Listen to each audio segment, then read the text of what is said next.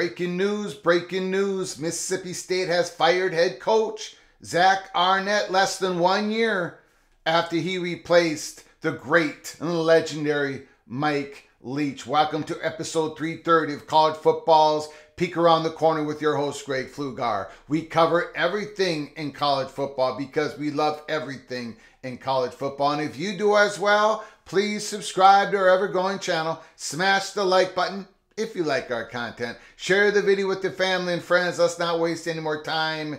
Pete Thamel, early this morning, sources Mississippi State has fired coach Zach Arnett.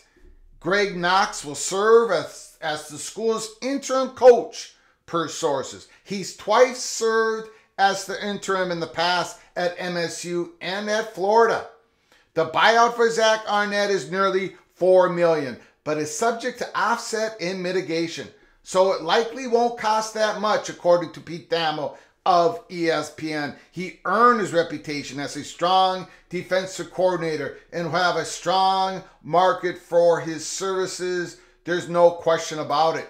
Zach Arnett is going to be is he's going to be on the market. He's going to have people giving him a call. His agent giving him a call to become their next defensive coordinator. A lot of schools are looking for a new defensive coordinator after the 2023 season. Let's take a look real quick here at CBS report this morning. Miss Mississippi State fires Zach Arnett. The Bulldogs part with coach less than one year after replacing the legendary, the great Mike Leach. The Bulldogs coach went just one and six in conference play during his first season as the full-time boss.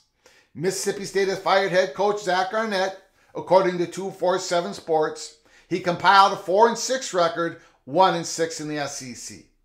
Senior analyst Greg Knox will serve as the Mississippi State interim coach.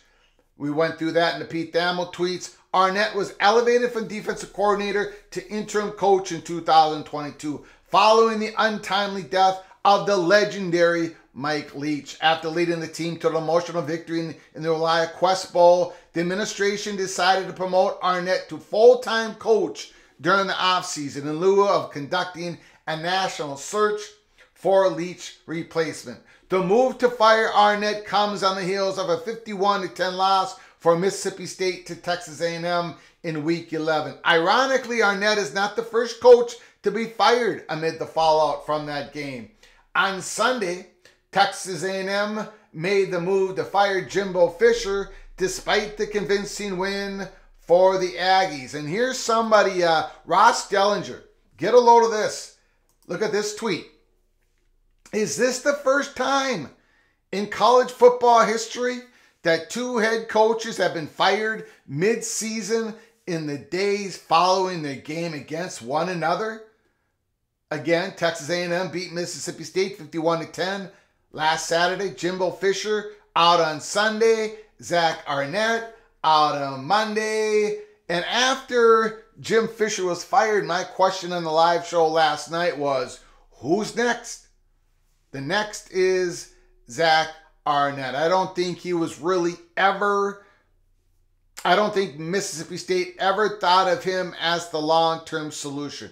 So, who is Mississippi State's next football coach? Who is their possible long term solution? My idea would be well, Jamey Chadwell, coach Liberty, coach Coastal Carolina. I think it's time for him to take the reins of an SEC program. His family, they've all say he wants to stay in the South. I think it's his time. Liberty, he's only been there for one year, dominated, undefeated. He was with Coastal Carolina, built a great program. I think Jamey Chadwell, I think it's his time. I think he'd be number one on the hot board list, our hot board list for the Mississippi State job. Look, of course, Mississippi State, the job at the bottom, near the bottom of the SEC when it comes to coaching job, when it comes to the value of the position versus the other head coaching positions in the SEC. But it's an SEC job. Money's going to come with it. Um, Life changing money's going to come with it. You're going to have the resources to build your staff. A lot of people are going to be interested. Mississippi State going to have a decent hot board list, but Mississippi State, I don't think, is the last SCT, SEC team is going to lose their coach.